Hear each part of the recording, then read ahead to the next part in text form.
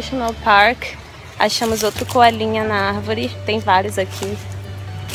Nada paga ver esses animais na natureza, assim. Dá uma felicidade tão grande de ver eles ali, lindinhos, dormindo.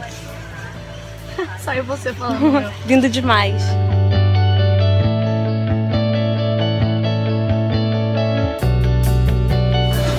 Pra quem vier pra Nusa, fica a dica do Betty's Burger.